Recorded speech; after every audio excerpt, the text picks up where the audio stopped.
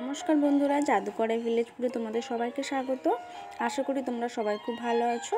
তো আজকে আবারও একটা নতুন রেসিপি নিয়ে তোমাদের সামনে হাজির হয়ে গেলাম। তো এই রেসিপিটা আমি ঘরোয়াভাবে কীভাবে চিকেন রান্না করি, তো সেটাই তোমাদেরকে আজকে শেয়ার করব। তো চলো সরাসরি রেসিপিতে চলে যাচ্ছি। তো প্রথমে মাংসের মধ্যে আমি দিয়ে দিয়েছি এক চামচ ভিনিগার স্বাদ মতো নুন, পরিমাণ মতো লঙ্কার গুঁড়ো, হলুদ গুঁড়ো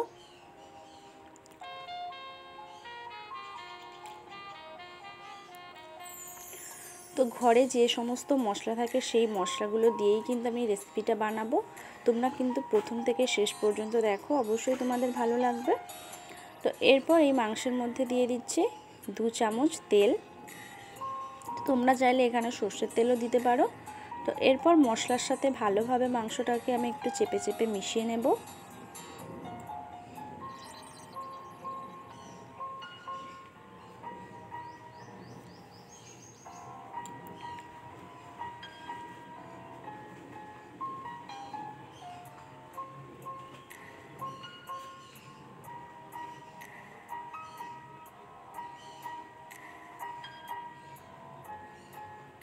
তো দেখো ভালোভাবে মেশানো হয়ে গেছে। এরপর এর মধ্যে আমি দু চামচ আদা বাটা, দু চামচ রসুন বাটা অ্যাড করছি। এরপর আবারও এটাকে ভালোভাবে মিশিয়ে নেব।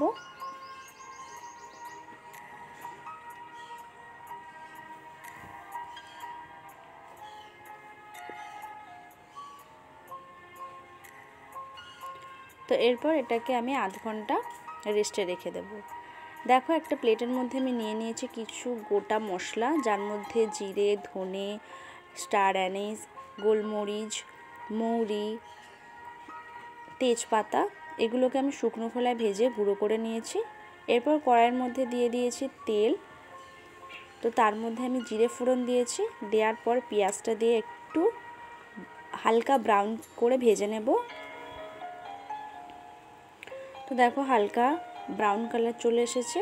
এরপর আমি আবারও এক চামচ আদা বাটা, এক চামচ রসুন বাটা অ্যাড করব।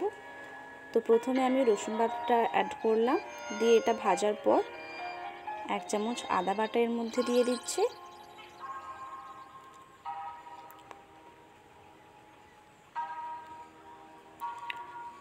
তো এরপর এটাকে আমি ভালোভাবে ভেজে নেব। তো তারপর এর অ্যাড করছি টমেটো। টমেটোটা যাতে তাড়াতাড়ি গলে যায়, তার জন্য এর মধ্যে আমি দিয়ে দিচ্ছি নুন। তো নুনটা দিলে তাড়াতাড়ি টমেটো থেকে রসটা ছেড়ে যাবে, টমেটোটা তাড়াতাড়ি গলে যাবে। এরপর হাফ চামচ দিয়ে দিয়েছি হলুদ গুঁড়ো, হাফ চামচ লঙ্কার গুঁড়ো। দিয়ে এটাকে ভালোভাবে কষিয়ে নেওয়ার পরে দিয়ে দিলাম, এর মধ্যে আমি ম্যারিনেট করে রাখা মাংসটা। তো এরপর এটাকে আমি ভালোভাবে মশলার সাথে কষাতে থাকব।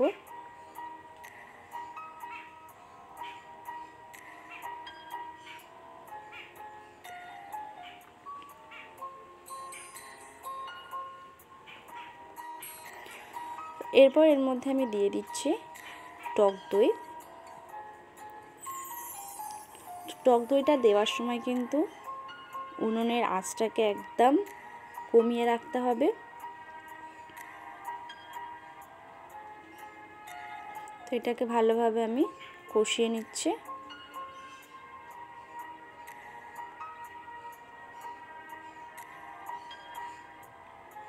তো টক দই দেওয়ার সাথে সাথে দেখতেই পাচ্ছ, চারিদিক থেকে কিন্তু তেলটা ছেড়ে দিয়েছে।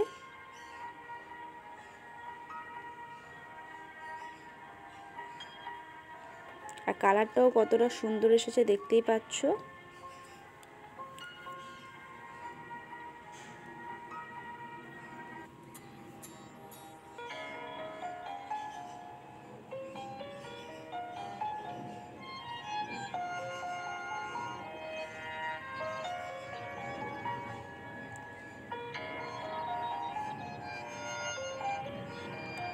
তো এর মধ্যে আমি দিয়ে দিচ্ছি কাসুরি মেথি।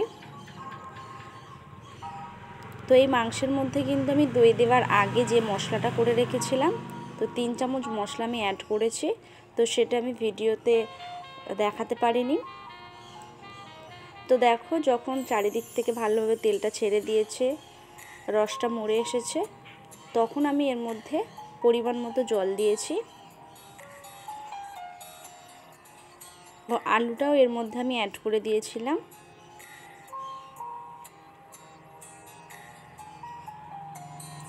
তো দেখো, শেষে আমি দিয়ে দিচ্ছি ধনে পাতা কুচি। আর দিয়ে দিচ্ছি দু চামচ গরম মশলা গুঁড়ো।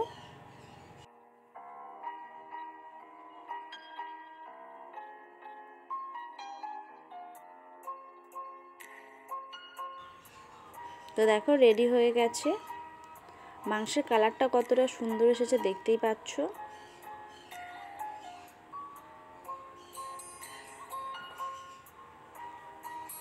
তোমরা অবশ্যই বাড়িতে এরমভাবে ট্রাই করো। আজকে এই পর্যন্ত সবাই ভালো থেকো সুস্থ থেকো।